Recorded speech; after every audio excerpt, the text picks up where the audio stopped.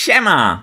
Wiele osób pyta się mnie, Tomeczku, kiedy w zasadzie warto jest uczyć dzieci grać w szachy. I prawda jest taka, że nie ma takiej jednoznacznej odpowiedzi na to pytanie, ponieważ ja na przykład zacząłem grać w szachy jak miałem jakieś 7 lat, natomiast znam osoby, które zaczynały wcześniej, znam też osoby, które zaczynały później i już teraz są ode mnie lepsze. Także raczej nie ma jednej prostej odpowiedzi na to pytanie. Natomiast dzisiaj chciałem Wam pokazać historię chłopca, który w wieku 3 lat mierzył się z byłym mistrzem świata Anatolijem Karpowem. Filmik będzie złożony z trzech części, a mianowicie na początku pokażę Wam samą partię. Potem pokażę Wam trzy zadanka, które Misza Osipow był w stanie rozwiązać na wizji dosłownie w kilka sekund, a gwarantuję Wam, że Wy będziecie mieć z nimi problem, bo ja też miałem problem.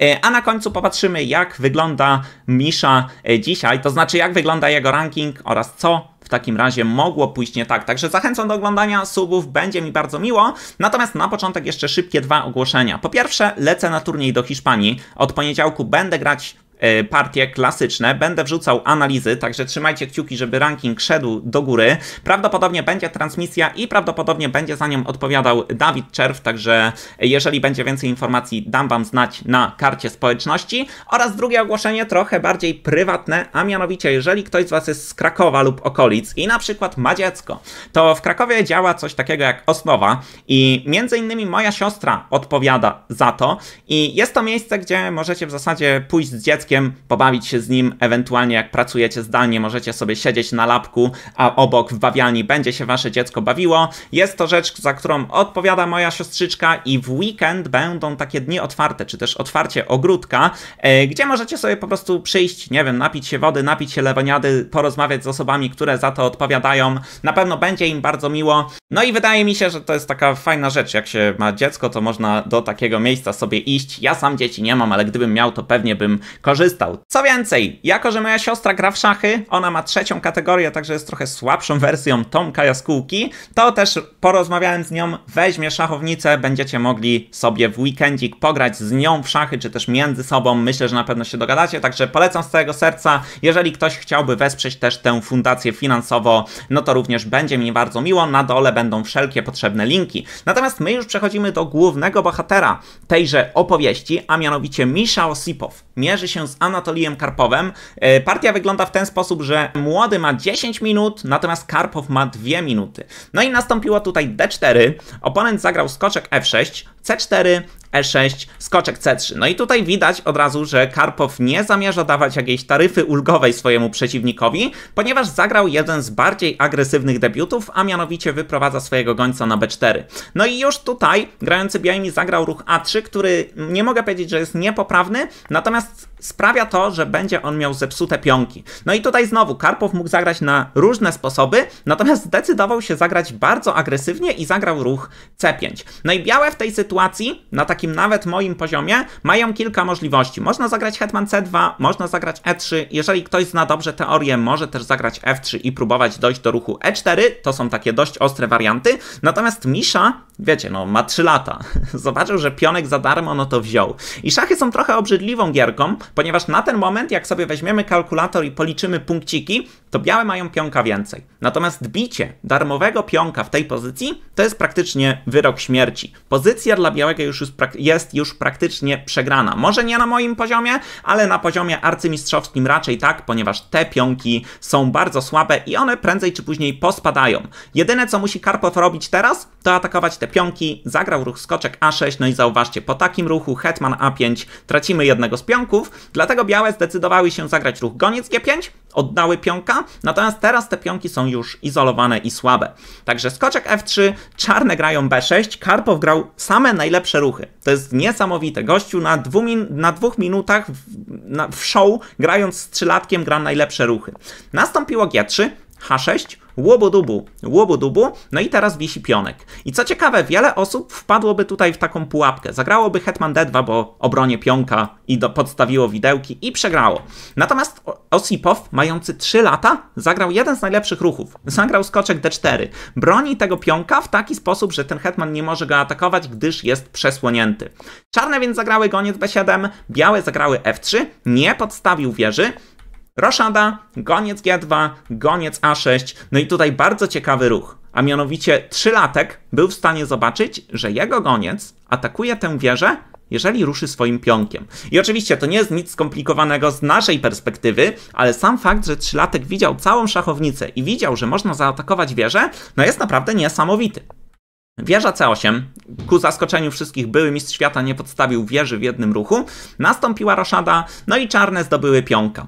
Tutaj białe zagrały F5, czarne odpowiedziały ruchem E5, no i wspominałem wam wcześniej, że zawodnicy mieli 10 minut i 2 minuty. No jako, że Osipow trochę długo myślał, to w tym momencie zaczął mu się kończyć czas. I co ciekawe, Anatolii Karpow zobaczył to i stwierdził, a może zaproponuje remis. I wrzucił przeciwnikowi remis, a grający białymi trzylatek nie chciał remisu od mistrza świata. Zdecydował się, że gramy dalej, zagrał skoczek F3, D5, no i partia zakończyła się, ponieważ czarne wygrały na czas. No i tam na pewno widzieliście w tym filmie, dziecko było bardzo smutne, prawie że się popłakało, zawołało mamę i tak dalej, i tak dalej. Natomiast to nie jest koniec całej historii, ponieważ po tej partii można sobie stwierdzić, aha, no spoko, trzylatek, no nauczył się ruszać figurami i tyle. Po pierwsze, nie była to wcale bardzo zła partia, trudno powiedzieć, jak ona by się potoczyła, gdyby debiut poszedł trochę lepiej, ale też nie ma co oczekiwać od trzylatka, że będzie znał teorię debiutów i wiedział, czym są słabości pionkowe, natomiast faktycznie było widać, że motywy to on kojarzy.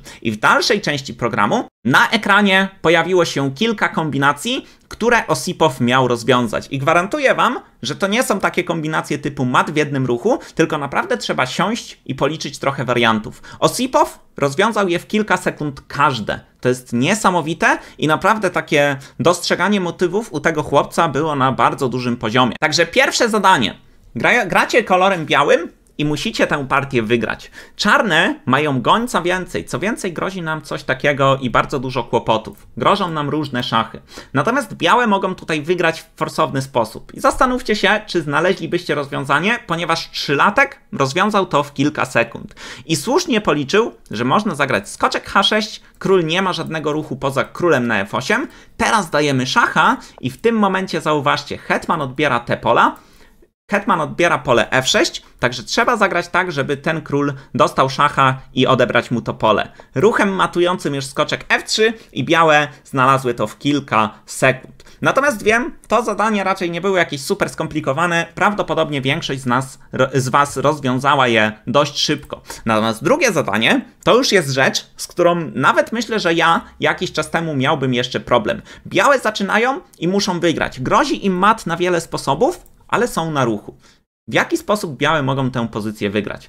Okazuje się, że znowu trzylatek był w stanie to rozwiązać w kilka sekund i cały czas to powtarzam, ale to jest, wiecie, niesamowite nawet z mojej perspektywy, a mianowicie białe grają ruch skoczek G5, dają szacha, podstawiają najpierw swojego skoczka, potem podstawiają swoją wieżę, a na końcu matują. I zauważcie, to wszystko miało na celu zagonienie króla na f6, zagonienie wieży na g5, żeby ten pionek odbierał pole f5 i można było mu dać mata. Niesamowite i naprawdę szacun Cóż, co mogę więcej powiedzieć? I trzecie zadanie, które również jest bardzo ciekawe, ponieważ białe zaczynają i muszą zamatować w trzy ruchy. I jest to pozycja, w której białe, czarne pionki idą na dół. Także jeżeli zagramy jakiś losowy ruch, to jest to pad pionek nie może zbić, król się nie może ruszyć, jest to pad. Także w jaki sposób tutaj kolor biały może wygrać partię? Okazuje się, że mamy na to kilka możliwości. To znaczy, to nie jest takie zadanie, gdzie tylko jeden ruch wygrywa.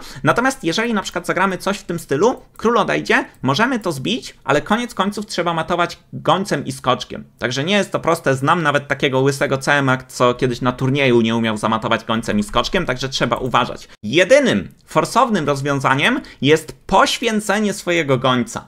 Teraz jedyny ruch, jakie czarne mają, to jest bicie. Teraz gramy król f8 i po ruchu f5 matujemy przeciwnika, pomimo tego, że mamy niewystarczający materiał do dania mata. I właśnie tutaj też taka mała ciekawostka, może ktoś z was wie, a mianowicie co jeżeli miałbym taką pozycję? I przeciwnik grający czarnymi na czeskomie nie wykonywałby posunięć i skończyłby mu się czas no chyba by był remis, nie? To jest ciekawe, ale no samym skoczkiem i królem nie da się zamatować, więc domyślam się, że w takiej sytuacji byłby remis. Natomiast tutaj oczywiście F5, skoczek F7 kończy się tomatem. Także niesamowite i to, że chłop potrafił to rozwiązać, sugerowałoby, że naprawdę ma duży talent do szachów. Ale czy tak było naprawdę? Jak widzicie, zmieniłem scenę, no i tutaj możemy wejść w profil FIDE zawodnika Michał Osipow, no i jak widać, szału nie ma. Zawodnik mający 10 lat ma aktualnie ranking 1143 i on w ostatnich latach zupełnie się nie zmienia. Także no widać, że nie jest to taka kariera, jaką można by było sobie wymarzyć. E, widać, że też, że za wiele w szachy nie gra, także ten tu, teleturniej czy ten program był chyba jedynym takim wybrykiem tego zawodnika. Natomiast w wieku 10 lat czyli z rocznika 2013, jest też inny zawodnik, o którym w ogóle nagrywałem kiedyś filmik, a mianowicie Faustino Oro. Zawodnik, który ma 10 lat i ranking 2316. Jest lepszy ode mnie. Grałem z nim 3 razy na Czeskomie i 3 razy mnie ograł. Niesamowity zawodnik. No i wydaje mi się, że on może być, wiecie, takim messim szachów, jeżeli nadal będzie rozwijał się w taki sposób. Także jak widzicie, wiek w sumie nie ma jakiegoś większego znaczenia. Są osoby, które w wieku 3 lat grając były mistrzem świata, a są słabsze od was. Są też osoby, o których nikt jeszcze kilka lat temu nie słyszał, a teraz mają 2316. No i prawdopodobnie niedługo zostaną arcymistrzami. Także podsumowując, jeżeli chodzi o to, kiedy zaczynać grać w szachy, Chyba nie ma jednego konkretnego, konkretnej odpowiedzi, natomiast to, co mogę powiedzieć Wam z pełną świadomością, to to, że dziecko, które chcecie nauczyć grać w szachy, musi je traktować jako zabawę. Oczywiście fajnie, jak nad nimi pracuje, natomiast jeżeli będzie traktować to jak za, jako zabawę i będzie lubiło grać w szachy, lubiło przegrywać, lubiło wygrywać, ale będzie lubiło grać w szachy, to prędzej czy później zaprogresuje. Natomiast jeżeli będziecie je do, nie, do tego zmuszać, jeżeli będziecie brać je do teleturniejów w wieku 3 lat, to najczęściej będzie się to kończyło tak jak u pana Michaiła. Także mam nadzieję, że filmik Wam się podobał. Przypominam o osnowie, e, przypominam o Hiszpanii, do której lecę za kilka dni. Trzymajcie się cieplutko i do usłyszenia następnym razem. Elo!